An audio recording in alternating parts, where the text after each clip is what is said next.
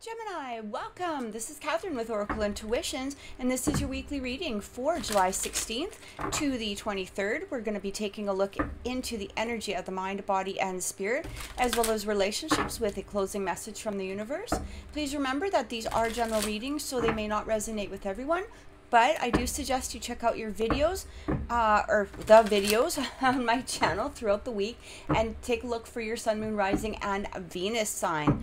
Also, remember that uh, time in the spirit realm is irrelevant. So these may be upcoming energies, current energies, or a validation of some sort of past energy. And if you are looking for a personal reading, you can contact me at Oracle Intuitions or through my uh, email page or through my email at oracleintuitions1111 at gmail.com or through my Facebook or Instagram at Oracle Intuitions. And on Wednesdays, join us live where we do uh, free mini readings. Uh, these are going to be for our subscribers, all right? And also, on Sundays at 2 o'clock p.m., where we bring on different spiritual guests. So both of these shows are live, they are mountain time, and we hope to see you then. All right, so let's take a look and see what's coming through for Gemini this week. If you hear, um, you know, kind of a fan sound in the back, it's really hot here in my province right now. So I have to have a fan going because we do not have air conditioning. This is really unusual for us. So I do apologize if it, uh, I hope it doesn't interfere with the volume, but you know, it is what it is. All right, so let's take a look. Gemini, let's see what's coming in. For the mind, we have the Three of Summer. So this is all about celebration. This is the Three of Cups, and it does talk about you have an exciting reason to celebrate, such as an engagement, wedding, graduation, or birth announcement. Remember to cherish those you love. So it, it does feel that maybe perhaps you're either getting into a mind space of ready to celebrate, you're feeling good about yourself. Now, remember that these could be upcoming energies. So it feels like maybe perhaps, you know, some sort of challenge that you've you've been working on or maybe perhaps you're just getting into this place of feeling confident within yourself you're ready to go out and celebrate with the world. You know here's the interesting thing. Now that the world is sort of opening up a bit too maybe you know you're you're able to go out you're able to be with friends and family again. So this could have a relation to that. But within the body or external energies we have the king of winter. This is the king of swords energy and it says at this time, it's very important that you communicate clearly, be objective and unemotional, and act as professionally as possible. If you need advice, seek out the most experienced expert you can find. When that King of Winter comes in, um, this this card really is in a place of he's very strategic, he's very diplomatic. So for some of you, this could be that external circumstances at this point, or maybe there's some sort of situation. Uh, you need to take a diplomatic point of view or a diplomatic approach to it. Maybe for some of you, it's strategic, like building a bit. I don't know what the heck that was. Something just exploded. Okay, sorry about that. I hope you didn't. That didn't affect anything. Um, okay, let's just take that as a sign. all right. For those geminis i don't know if you guys heard that but there was a big bang uh, just a second ago. Anyway um, so basically what it's talking about is being diplomatic being strategic. You might have to look at a situation a little bit more unemotionally and go into the mind as opposed to just following the emotions. But i feel by doing this it's going to be giving you a, uh, a reason to celebrate a cause to you know have some sort of elation in regards to a situation or a circumstance. It almost feels as though like I feel this buildup of excitement. It's like I've been putting this um, it, it's this energy I've been putting this work towards my business, my relationships, whatever it is.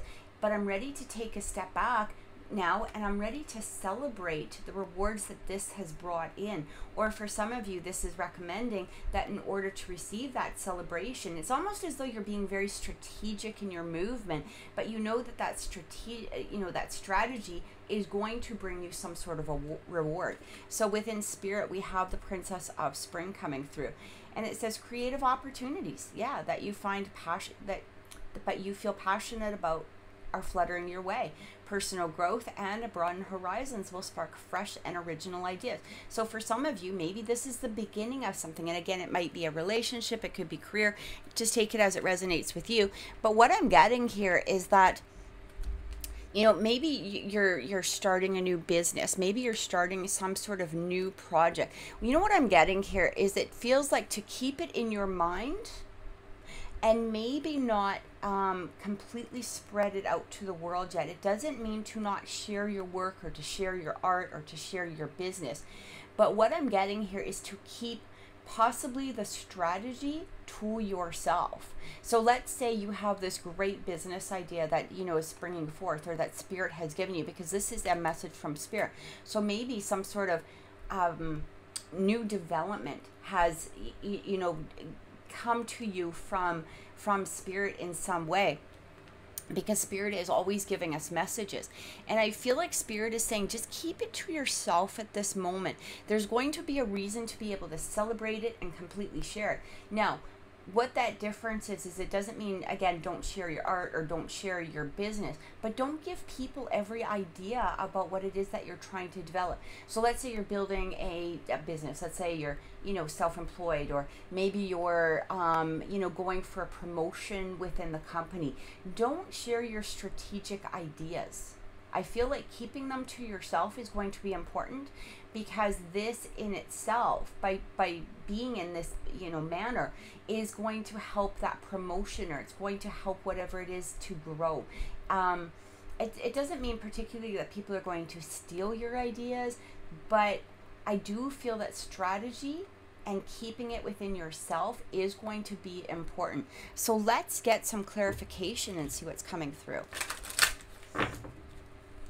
and I feel like whatever it is, is starting to make you excited. It's starting to build up this sense of passion towards it. Now, let's say it's a relationship, okay? Um, what I'm getting here is whether this is a new relationship, let's say it's a, a new relationship that's coming in.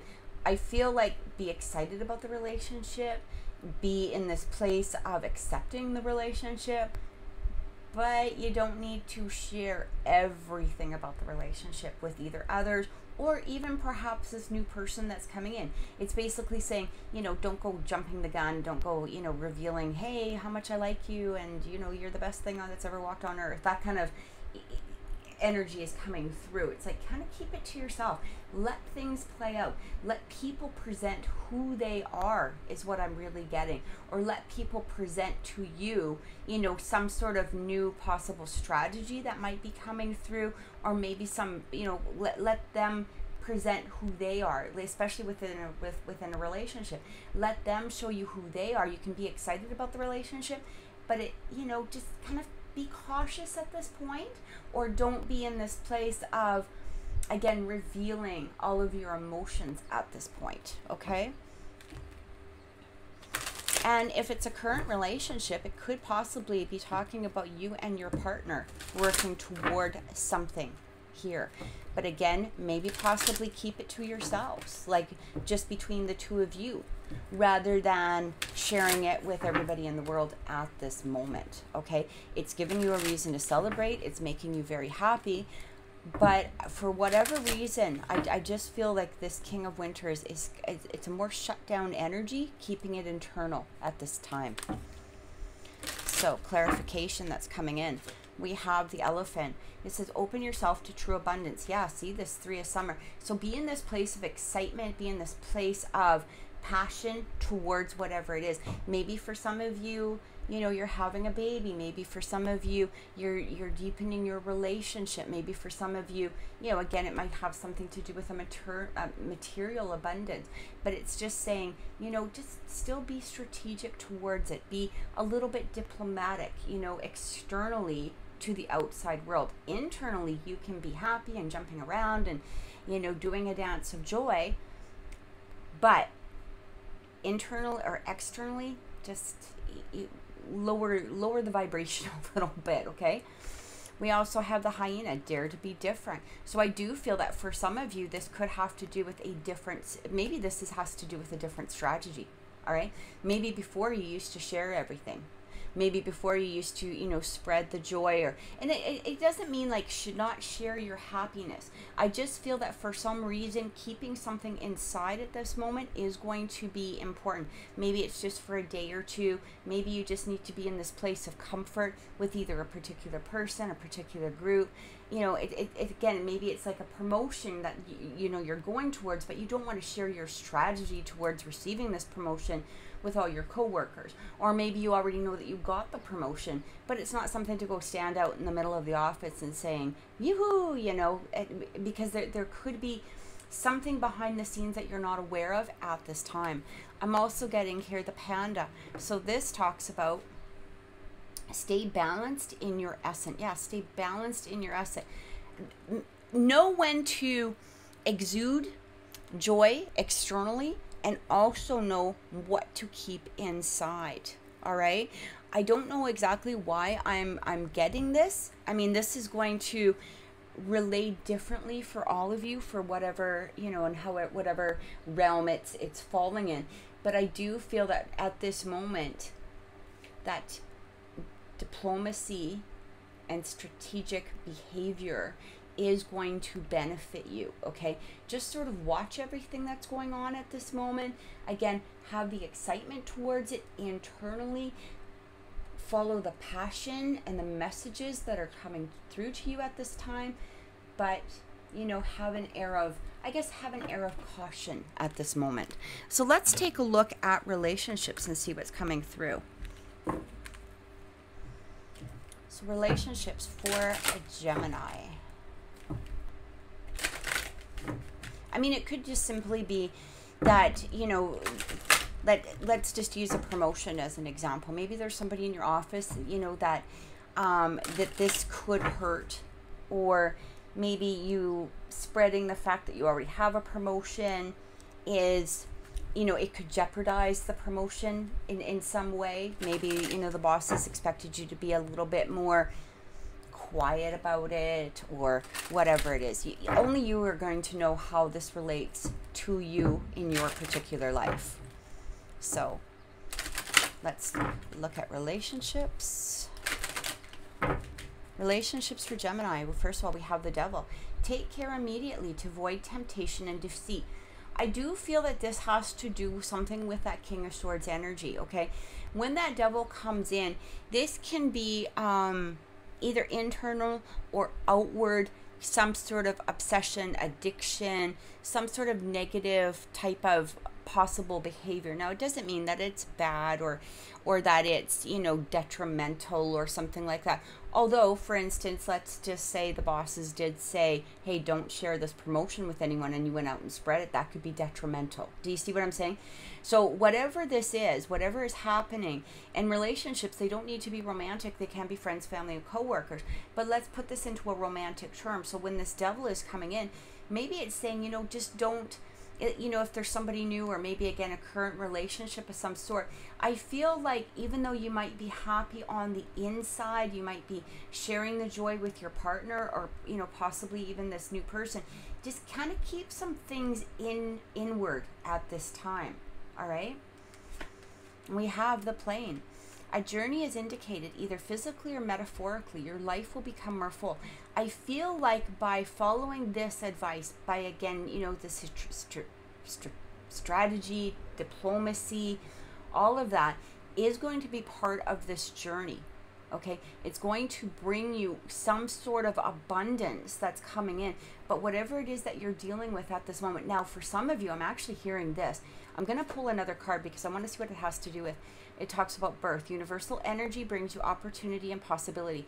Now, it doesn't need to be birth. You know, it doesn't, maybe for some of you, you are having a baby or becoming a grandparent or whatever it is, or maybe your friends and family are, you know, celebrating a birth of some sort. Uh, but this could be the birth of a new idea. It could be the birth of a new relationship. It could be the birth of a deepening of a commitment in some way. But if we turn this into a romantic type of situation where that devil is coming in along with that king of swords, um, let's say you're having a fight with your partner. Okay, and again, I'm just I'm just throwing out an example here. Let's say you were having a fight with your partner, And even though inside you might be in this place of, I feel like I'm winning, or I feel like, you know, this is going to turn positive for me, or this is bringing me into a happy place, if you're telling everybody um, about this fight, or maybe for some of you there's gossip involved, or maybe there's some sort of energy here that you know couldn't it, it may on appearance wise on the outside if you're talking about it or if you're spreading it in some way it could you know create a negative effect. And that's kind of what i'm feeling. So again keep the happiness on the inside at this time okay? It doesn't mean that you won't be able to open up. It doesn't mean that you can't talk about it at a later date. But i feel whatever this situation is it's going to be important to um, uh, keep it within. All right, so let's get some clarification and see what's coming through. Maybe perhaps you met somebody or you're about to meet somebody and you want to tell the world about how wonderful this person is. But Spirit's saying not yet. Okay, not yet. Doesn't mean you can't tell maybe your best friend or something like that. But it's not one of those things that you want to get onto Facebook, you know, and post a status and be all like, hey, you know, I just met the best person in the entire world. That could be detrimental. Do you see what I'm saying? So, again, take it as it resonates. All right. We have the Ten of Summer. Beautiful, beautiful energy. It's time to express your love and appreciation for family. It could be relatives or chosen family of all close friends. Congratulations may be in order for a happy, fulfilling marriage, as well as resting, uh, as raising happy, balanced children. So again, we have this birth card. Maybe for some of you, there's a deepening of a relationship in some way, or a relationship that is going to be a more committed relationship that is coming towards you. All right. So it could be in the past that you could have been dealing with some sort of obsessive or addictive behavior. Or again, maybe it's just that you got a little bit too excited about a relationship before it had a chance to fully develop. And that was detrimental towards the development of the relationship. All right. So with this 10 of summer coming through, I feel like spirit is saying there's this opportunity that's coming towards you in some way that is going to allow you know this relationship or some sort of relationship to have that 10 of summer energy this 10 of cups energy. When the 10 of cups comes through this is about completion. I mean for some you know this could represent uh, a house with a little white picket fence and two dogs and you know 3.4 ch- children. Do you see whatever your happiness is going to be for you maybe perhaps it has to do with career. So it's completion and being in that happy energy knowing that you've developed this business or that you've you know opened um so or let, let's say you opened a store you know and it, it's getting to that place where hey it's starting to get busy i can celebrate. I feel the abundance coming in or again the promotion whatever it is all right but this is that completion of that happiness being in that happy place. But there needs to be a strategy in here we also have the justice card. So the elephant, fair decisions will be made after all the evidence is re- reviewed impartially. Have compassion for others and try to see all sides of a disagreement. So this could have something to do with as to why we're getting that diplomacy and you know that strategy, right? As well as the devil card. When the justice comes through, what the, the, the main thing we have to remember about justice is justice doesn't care if somebody let's say you've had an argument with somebody and somebody's been you know doing really nasty things to you so you decide to seek revenge and do it back. Justice doesn't care about what the person has done to you because it's not your karma to play out. It's not your place to uh, evoke justice. Do you see? It's the universe's job so this is what is being taken a look at right now. And that's why I feel that strategy and diplomacy, that behavior of just taking a step back and not reacting emotionally in some situation is going to help create a better situation. It's going to rebirth. Maybe there is a renewal within a relationship because of this energy. And we have the magician. There is magic in the air. You can manifest everything you need to be successful. Now, the interesting thing about ma- the magician, especially within traditional tarot, okay, you have all the tools in your toolbox. This is what the magician talks about. You have all the tools there.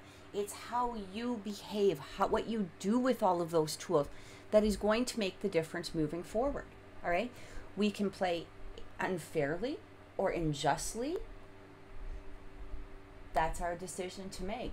But is it going to further or better a situation? And that some, might be something that you need to take a look at. And that's why, with that King of Swords coming through, I do feel that there needs to be this impartial look at something, okay? And this does talk about being impartial and, and but still having compassion towards the situation, all right? So this is what's coming through with relationships. Guys, I really feel like there is this chance of renewal, this chance of a rebirth within something, whether it's a new relationship or a current relationship you know, or again, friends, family, coworkers, however it resonates with you. It might even be within yourself, that relationship with yourself. Take it as it applies to your situation.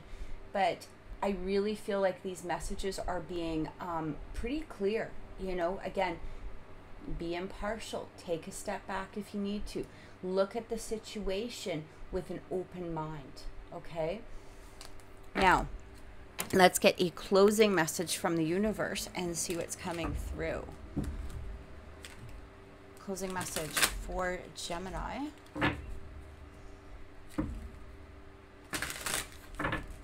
Closing message for Gemini, July 16th to the 23rd.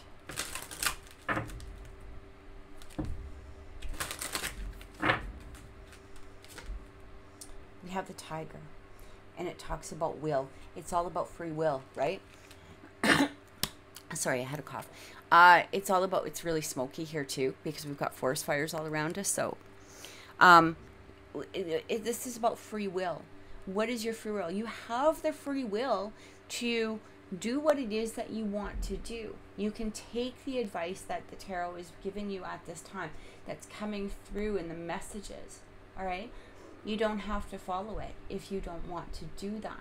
However, remember that at this time, this could, you know, be some sort of, you know, situation that could either be made or broken by your actions. And I feel like it, it's really important right now to have that balance within yourself do I feel like I should, you know, share this? Should I hold back on this? I feel like following your intuition is going to be highly important at this time.